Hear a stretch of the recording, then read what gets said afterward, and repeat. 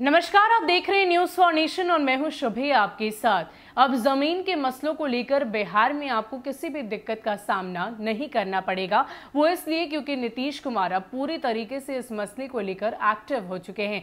आपको बता दें कि नीतीश कुमार ने कल राजस्व एवं भूमि विभाग के कर्मचारियों के साथ बैठक की और साफ़ तौर पर उन्हें दिशा निर्देश दिया है कि जो भी लोग व्यवसाय कर रहे हैं ज़मीन को लेकर जो बेनामी ज़मीन है, चोरी छिपे उनकी खरीद बिक्री जिनके तरफ़ से की जा रही है, उन पर साफ़ तौर पर कमर्शियल टैक्स लगाया जाएगा और उनकी पहचान की जाएगी। इसके साथ साथ उन्होंने कहा कि जो भी भ्रष्टाचार से अर्जित किए हुए पैसे को ज़मीन में निवेश करते हैं, वैसे लोगों पर भी कार्रवाई की जाएगी।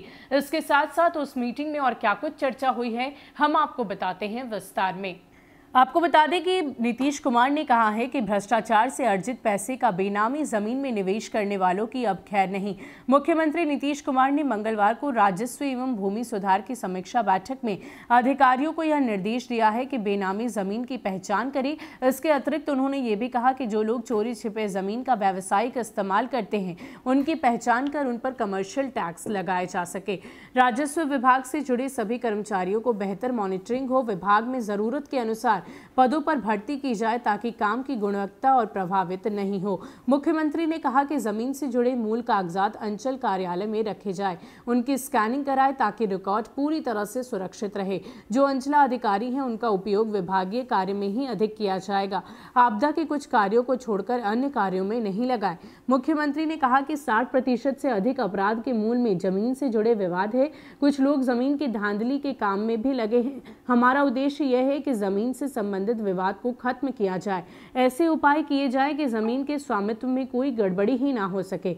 ज़मीन से संबंधित समस्याओं के समाधान के लिए महीने में एक बार जिलाधिकारी एवं पुलिस अधीक्षक व पंद्रह दिनों में एसडीओ और एस ज़रूर बैठक के लिए उन्होंने यह भी निर्देश दिया कि गंगा के किनारे जो ज़मीन जिस ज़िले की है उस संबंधित ज़िले के स्थानांतरित किया जाए।